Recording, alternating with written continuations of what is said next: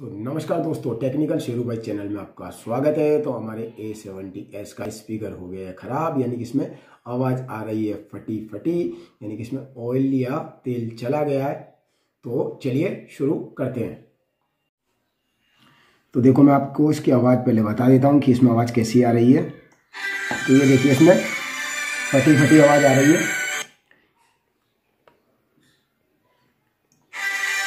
इसकी आवाज़ फटी फटी आ रही है, यानी इसकी आवाज़ क्लियर नहीं आ रही बिल्कुल भी। तो अब सबसे पहले इसका निकाल लेते हम सिम ट्रे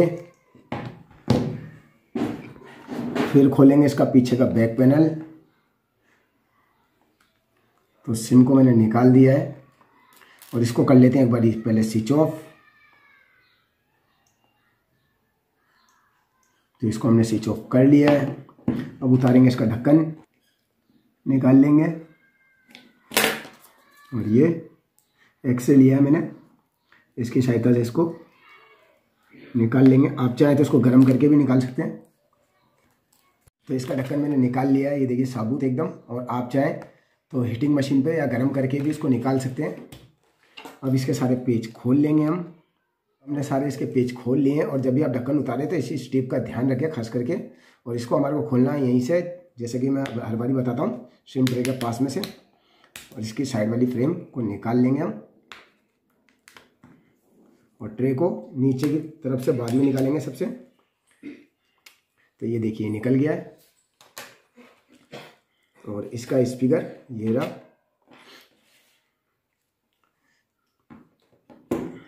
तो सबसे पहले इसके स्पीकर का सॉल्यूशन कर लेते हैं हम। हमारा कुछ ही नहीं करना है। इसको स्पीकर को बाहर निकालना है। और यहाँ थोड़ा सा चिपका हुआ है, इसको पत्ते को बाहर निकाल लेते हैं। प्यार से निकालें, क्योंकि ये कट गया तो प्रॉब्लम हो जाएगी। तो ये देखिए पत्ता हमने निकाल लिया। ये देखिए दोस्तों, स्पीकर के ऊपर ये जाली लगी हुई होती है, जिसकी वजह से हमारे को आवाज़ फटी फटी आ रही थी और ये ऑयल की वजह से या तेल चला गया, जिसकी वजह से उतर गया। तो हमारे को इसको कुछ नहीं करना है, हमारे को इसको हटा देना है तो इसकी आवाज़ स्पीकर की बिल्कुल क्लियर हो जाएगी। बस इतना सा ही हमारे को करना है। ये चौक हो गया, इसकी वजह से आवाज़ हमारे को फटी फटी आ रही है। तो इसको रख देते साइड में। और पूरे फ़ोन को मैं आपको एक बारी खोल के दिखा देता हूँ, इसके अंदर क्या क्या है। उसको हम करेंगे पूरा टीयर डाउन तो सबसे पहले खोल लेते इसके ऊपर वाला पेज हटा लेते इसका मेन पत्ता।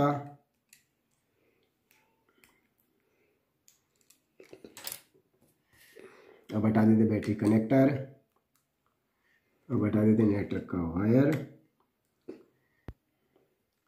अब निकाल लेते इसका मदरबोर्ड बाहर। ये देखिए मदरबोर्ड अब निकाल लेते इसका नीचे वाला फिंगरप्रिंट सेंसर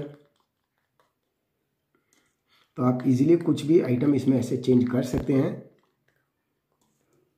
और ये देखिए इसका फिंगरप्रिंट निकाल देते इसके डिस्प्ले का पत्ता।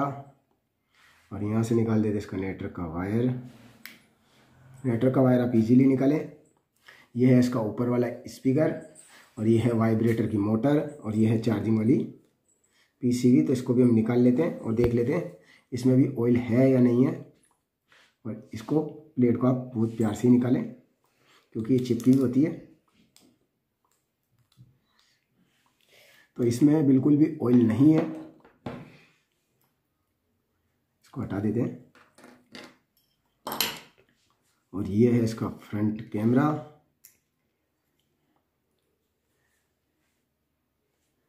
और ये इसके पीछे के बैक कैमरे तीन।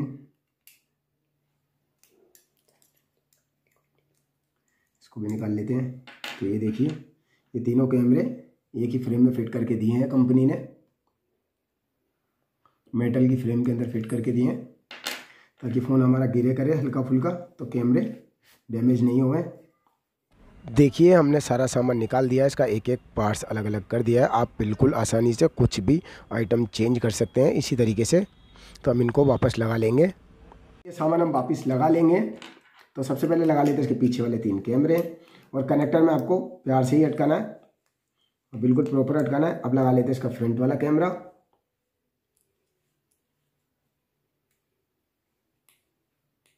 पूरा अच्छे से लॉक करें। और इसको ऊपर फिट कर देते हैं और इसके ऊपर का एक पेच कस देते हैं। और पेच हमारे को ज़्यादा नहीं कसने हैं। हिसाब से ही कसें और इसका बैटरी कनेक्टर हाथों हाथ लगा देते हैं। अब लगाते हैं इसका नीचे वाला फिंगरप्रिंट सेंसर और इसके भी दोनों पेज कस देते हैं। पेज आपको ज़्यादा नहीं कसने हैं। इस बात का खास करके ध्यान रखें। नहीं तो आपका कॉम्बो डिस्प्ले ख़राब हो सकता है। अब लगा देते इसके नीचे वाली चार्जिंग वाली प्लेट और इसको फिंगरप्रिंट वाले पत्ते के कनेक्टर कर देते कनेक्ट इधर लगा देते डिस्प्ले वाला कनेक्टर भी। तो ये भी हमने लगा दिया है। अब लगा देते इसका मेन पत्ता। मेन पत्ता आप एरो देख के ही लगाएँ। ये लगा दिया अब लगा देते इसका नेटवर्क का वायर। और इसको इसके कॉलर में बिठा देते हैं और ऊपर भी अटका देते हैं नेटवर्क के वायर को। ये अटक गया है। अब लगा देते हैं इसकी साइड वाली फ्रेम में और हमारे को कपड़ा आते हटा देना है। स्पीकर को। ये लॉक कर दिया हमने और पत्ते को बैठा दिया है। अब लगाते हैं इसकी साइड वाली फ्रेम। साइड वाली फ्रेम हमारे को नीचे से ही लगानी है। और पूरा लॉक कर देना है।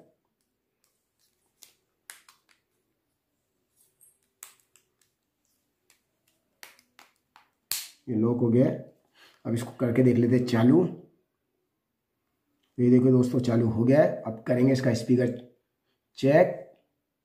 तो इसको चालू होने देते हैं। सबसे पहले कस देते इसके नीचे वाले पेज नहीं तो हमारे को स्पीकर की आवाज़ का मालूम नहीं पड़ेगा। फ़ोन हमने चालू कर दिया है। तो पहले नीचे वाले पेज अच्छे से कस देते हैं इसके, ताकि हमारे को मालूम पड़ जाएगा कि स्पीकर हमारा सही से प्रॉपर काम कर रहा है, या अभी भी स्पीकर में प्रॉब्लम है। देखिए दोस्तों, सारे पेज हमने कस लिए हैं। अब इसका स्पीकर चेक कर लेते हैं।